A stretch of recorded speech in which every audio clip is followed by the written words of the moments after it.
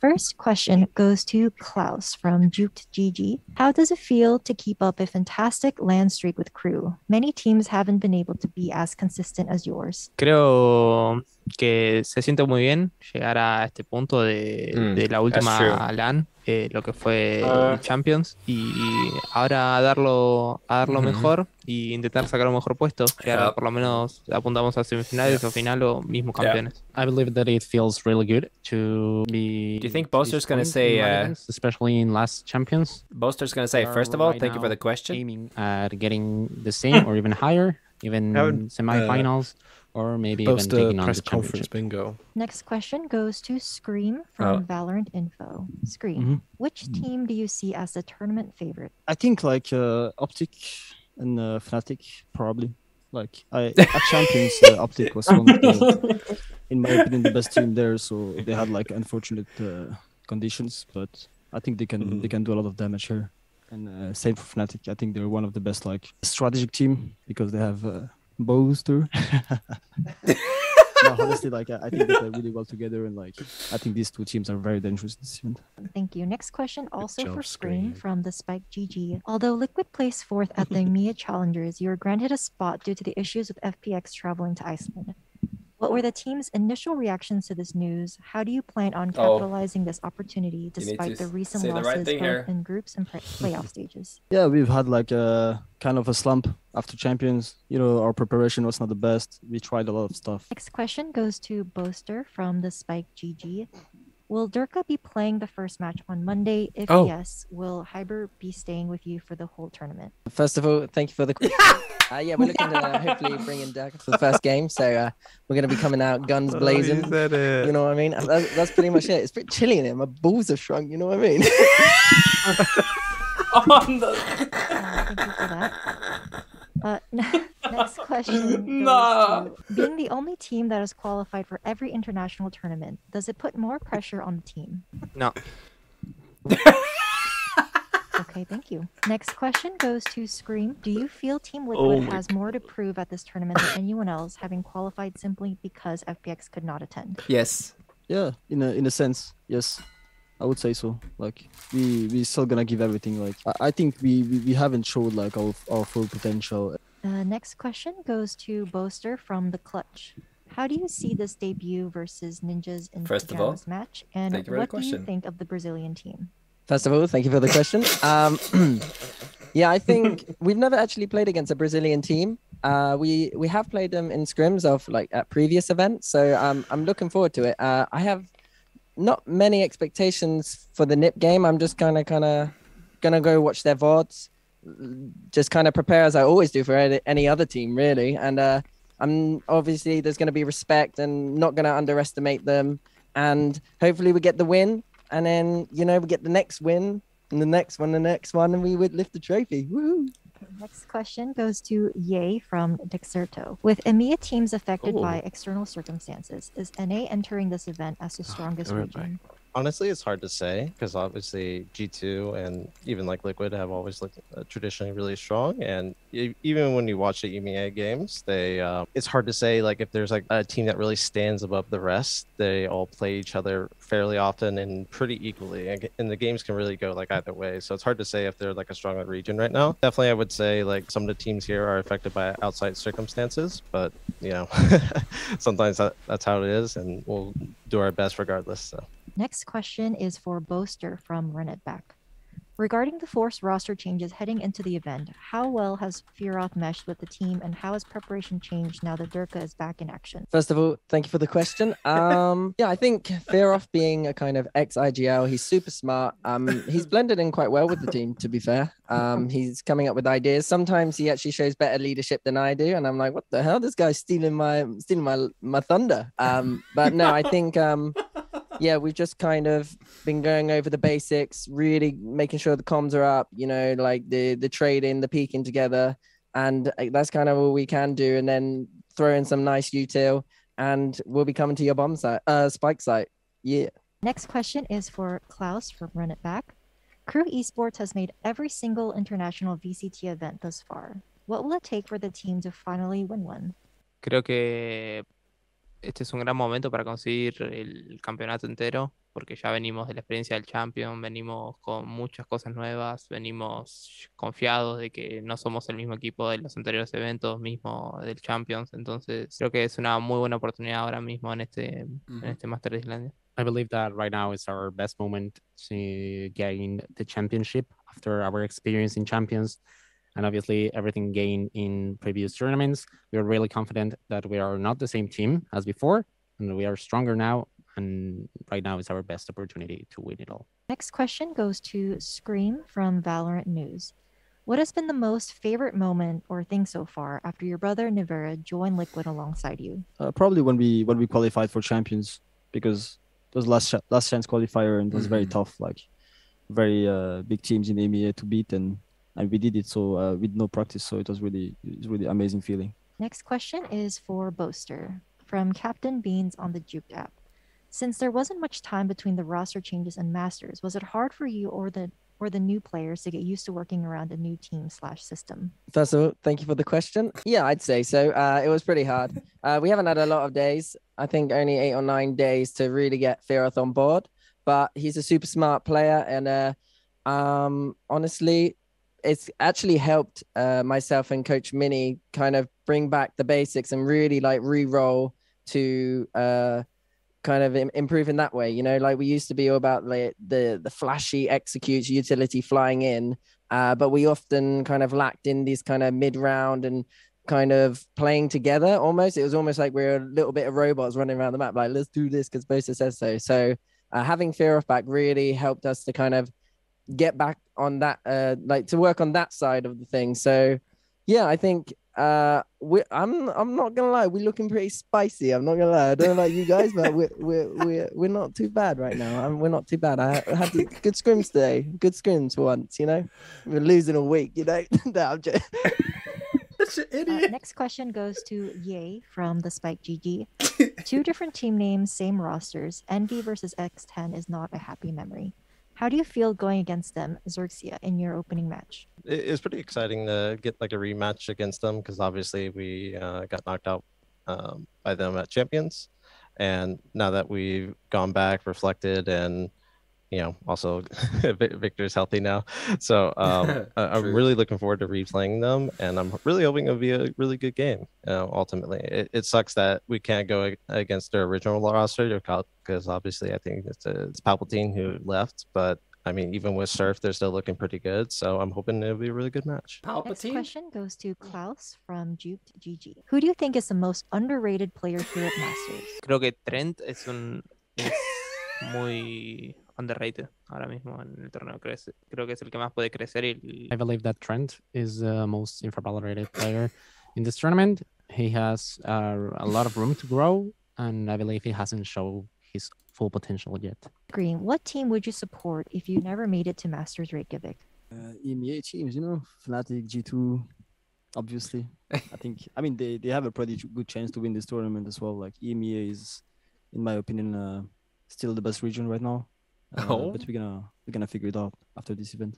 Next question goes to Klaus. What do you think about the group where the team is, and what are you and the team expecting in this first Masters of the year? creo que el equipo tiene un aire renovado después del último Champion y creo que sí, de alguna manera seguimos todos igual de, de focuseados, de concentrados en intentar ganar y, y llevarse el, y ser campeón. I believe that the team has a new life in itself after after champions, and I also believe that we are still really focused and concentrated on winning it all and becoming the champions. This is the final pre submitted question. It goes to Yay from Upcomer. If you had to pick a team that you're excited to face, which one and why? Ooh, that's a tough one. Um, I would say a lot of the EMEA teams because we really haven't got the chance to play like a lot of them. Uh, the only two that we played were Gambit and Acend. So honestly, playing against them is always really, really fun because I, I feel like stylistically they play the most similar to us. So I'm, I'm really fuck- looking forward to playing them essentially in a match setting. Uh, hi, my question is for yay. Going going into this tournament, statistically, you are the best chamber player in terms of ACS, ADR. But on the other hand, the EMEA teams don't use uh, chamber all that much. So, what do you think of that, and how will these uh, clash of these metas turn out to be? it's hard to say because um, again, we haven't played him in a match yet, but I feel with Chamber, I feel like he's a little bit underrated by other regions, at least right now. And maybe it also another reason we use Chamber is because like it fits our team pretty well in terms of like you know our player strengths. So I think I think uh, going into this tournament, you might see a lot of value coming out of Chamber, and maybe he'll get picked more. You never know. Hmm. So Thanks for uh, taking our questions, guys. Uh, this is for anyone who's willing to answer. Um, with the new format and teams getting a direct pass to playoffs, um, do you guys like this change? And I know, yay, you guys specifically weren't informed of it before you played in the grand finals. Does that affect you guys? Um, or how did that affect you guys in that moment and moving forward? I'd say I'm not I'm not sure if I'm a huge fan of like people being seated directly in the playoffs. I kind of I kind of almost favored them getting like a higher seating inside groups and still playing through the Mm. whole group format. But um in terms of uh, how it affected us when uh in the in grand finals, I I feel I feel like uh for our players and even myself, it's sometimes, you know, if you know you get like a massive benefit like going in like you you play like a lot harder. Not to say we didn't play like our, our hardest but it's kind of like it's like a psychology thing almost where it's like oh you're playing for something like a lot you know more so it requires more out of you almost so uh if, if we had known beforehand i, I feel like maybe we could have kicked it up uh, extra gear so never know Uh, this is definitely towards uh, Yay. Uh, obviously, in terms of NA, the three teams that made it to champions last year, you were the only team to come back, at least to the next international tournament. Uh, do you feel what? What do you think? What do you feel are like honest expectations for your team in this tournament? I guess uh, the expectation is to try and win, but ultimately, like you know, sometimes it doesn't turn out that way, right? So um, coming into this, um, our hope is like after you know we got to the grand finals at the first Berlin, uh, we had some unfortunate circumstances in the second, but ideally is like we finally bring home an international trophy. You know, you know, we we really want to do that and also show like NA is still a strong region as well because you know last few times we it's been kind of like a downhill hill and we we want to turn that around and we've been working really hard towards that so we're hoping to show that and also make all our fans back home proud so Uh, hello, this is more generic uh, question to all four of you. Uh, do you personally like where the game is going, where the game is headed right now? As uh, as we're talking, uh, balance changes, game plan changes, and uh, such. Do you personally like them, or the approach uh, the right is doing? Yeah, definitely. Like that's my answer. At least like for us, especially for Astra, I think Astra was like one of the hardest agent to play against. Even though they they nerfed it a little bit before, but now now it's really hard to play it. Even though some teams still play it, but overall, I'm really happy with the way Riot is handling and uh, asking the feed the feedbacks from players and stuff. So yeah. My question is for Klaus. I want to say that uh, Crew Esports finished top four in Champions and is still the only one in LATAM. What do you think of your rematch against Liquid and all of the group that has Crew? Creo que va a ser un match muy importante contra Liquid porque no fue nuestro mejor, nuestras mejores versiones la que mostramos contra Liquid. eh, eh, totalmente no, las veces que jugamos contra Liquid no, no éramos nosotros, por así decirlo. Entonces creo que esta vez va a ser mm, diferente. I believe May I that ask it's a a question, really have to say? important match for us. First of all, we haven't thank you for played taking our all best version, questions. neither Like both of those, you or know. previous tournaments against them, and we really weren't ourselves. But I believe that this time it'll be it'll all be different.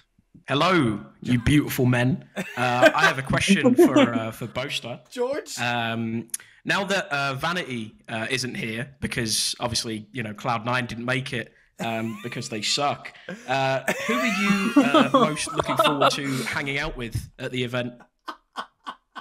Uh, first of all, thank you for the question. However, Cloud9 do not suck, my man. Um, they are a good team, and it was just unfortunate in the way they kind of lost.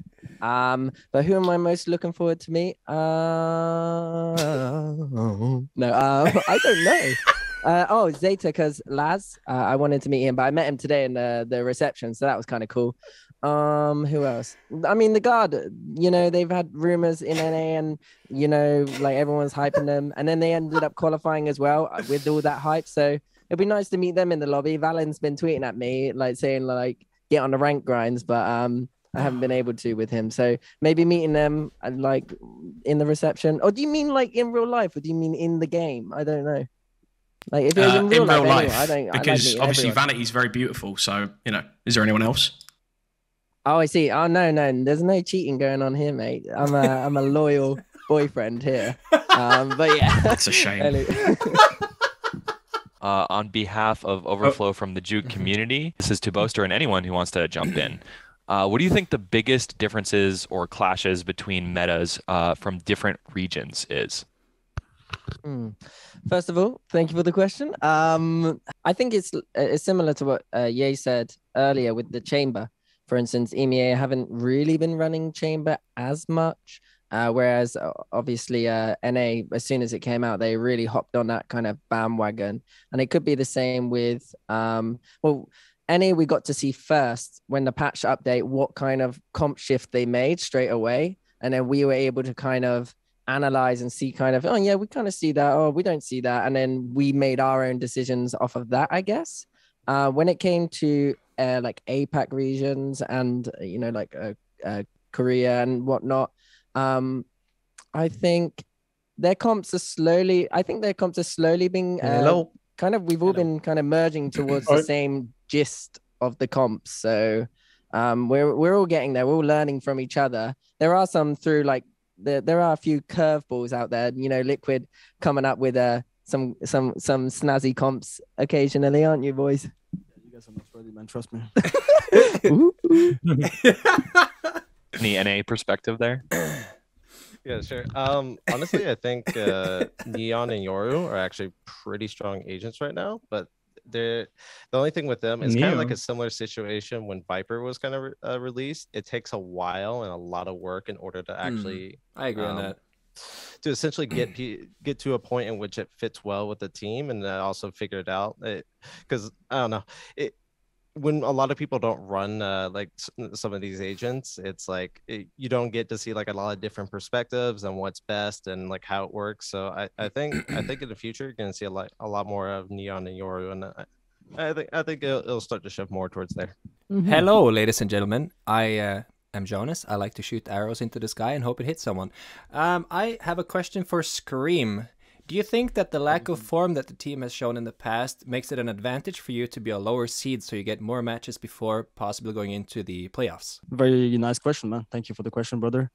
Um, I do think you're you're right. Uh, I think playing more games on stage uh, compared to the people who uh, who are in playoffs already makes a big advantage. I think, in my opinion. So, so yeah, we will take advantage of this situation definitely, and like uh, we already experienced the stage uh, in Iceland, in Berlin. So like, even though we we were in a slump recently, I think honestly like yeah it's been a really really bad time for us. And like yeah, i can't wait for to show people you know actually what we are capable of. And uh, if it's not at this event it's going to be at the next one. And like yeah we're we are very hungry and i think we have everything that takes and like yeah people might be surprised with like our comps and the way we play and the, the momentum. Like we are very, very momentum based so it's going to be interesting especially against KRÜ. Uh i really hope so. They i hope so. They you know they have a kind of a mental break against us uh mental block. And uh, I hope they they remove this so so we can actually have a good game against us.